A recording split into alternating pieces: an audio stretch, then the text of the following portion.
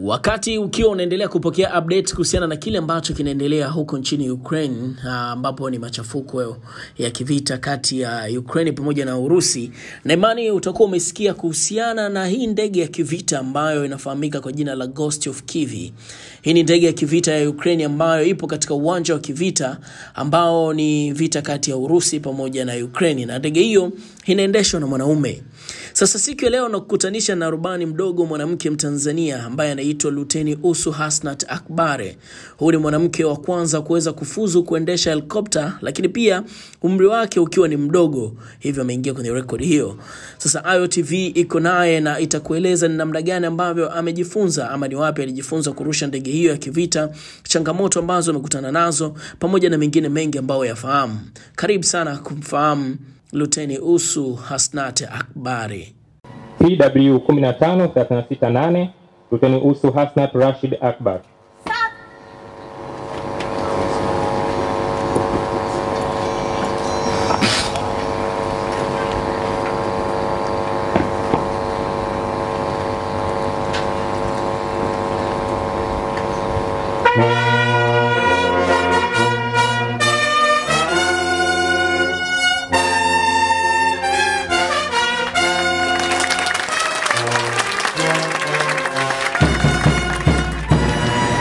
Majina naitwa Luteni Usu Hasnat Rashid Akbar, ni rubani wa helikopta.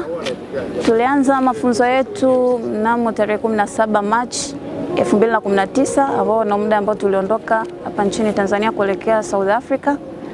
Mafunzo South Africa tulianzia tarehe 19 Machi 2019 mjini Cape Town.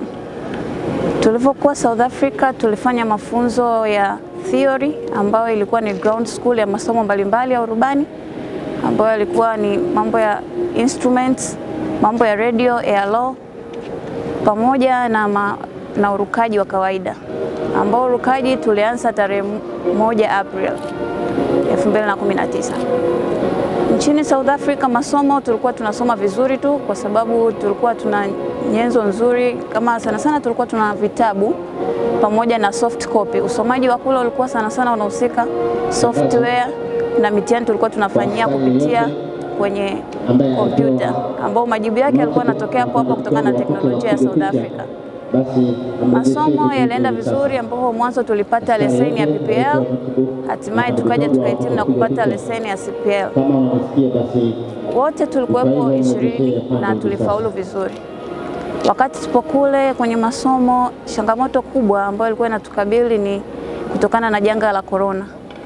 Tulipopata janga la korona, tulisitisha masomo kwa muda kama wa miezi miwili, ambapo tulikuwa ndani tu kwa ajili ya lockdown. Kwa masomo kipindi hicho tulikuwa hakuna urukaji, kwa ni ndani tu kujisomea mwenyewe, na maana yaliturudisha nyuma kidogo, ambapo baadaye tulipoanza kurishumu masomo yetu mwanzo tulikuwa tumerudi nyuma, japo tulikachap tena mwanzo, tukaendelea na masomo yetu vizuri kama ilivyotakiwa.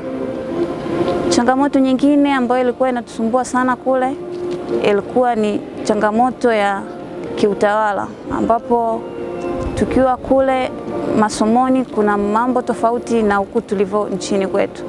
Sana sana kule hali ya hewa, vyakula, ambao vyakula ni tofauti na vya huku, kwa ilikuwa inabidi tuanze kuzoea. Hiyo ndio changamoto kubwa sana ilikuwepo kule, vyakula vya kule na vya huko ambavyo tulibidi tuzoee ili tuweze kuendana na masomo na muda ambao ulikuwa umetakiwa.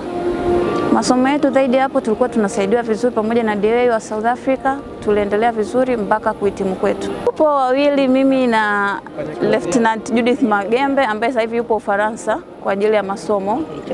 Ni kitu ambacho tunajivunia kwa kweli. Tunaona kama tumefungua njia kwa wanawake wengine ambao labda anahisi au rubani ni kitu kigumu. Kweli kwenye masomo kuna changamoto, ugumu unatakika, ila juhudi, na pia tulikuwa tumeshikamana pamoja na mwenzangu tulifanya vizuri na tunamshukuru Mungu pamoja na wenzetu tuliokuwa nao hawakutuacha nyuma, walikuwa wanashirikiana na sisi, hawakuwahi kututenga kama ni wasichana au ni kitu hivi, hapana. Tulisoma vizuri wote tukiwa kama wote ni wanafunzi. Wito wangu kwa wanawake wenzangu, tujitahidi. Unapopewa fursa, inabidi uitumie inavyotakika. Mtu anapokupa nafasi ya kusoma kitu fulani ili uweze kuwa kioo cha wengine, inabidi ujitahidi. Kwa hiyo natoa wito kwa wanawake wenzangu, tujitahidi kusoma, tutumie nafasi tunazopewa. Nafasi nyingine mtu unaweza usipewe, ila inajitokeza wai nafasi hiyo ambayo imejitokeza kwa wakati huo. Chukua nafasi, endeonyesha kama wasichana pia tukipewa nafasi tunaweza, na hata tusipopewa nafasi tunatafuta nafasi na tunafanya mambo mazuri. Katika training yangu, kitu kikubwa mwanzo kabisa ilikuwa kukacha, kwa sababu wale walimu kule ni ni watu ni Wazulu, kwa hiyo lugha kidogo wana Kiingereza ambacho kidogo ni kigumu. Kwa hiyo inabidi mpaka kuanza kukatch up nao, inaleta ile kidogo huo umemzoea. Kwa hiyo ni kitu ambacho kidogo kilitatiza mwanzo, inabidi unamsikilizia sana, kwa kidogo anakuletea ugumu kwenye maelekezo na nini.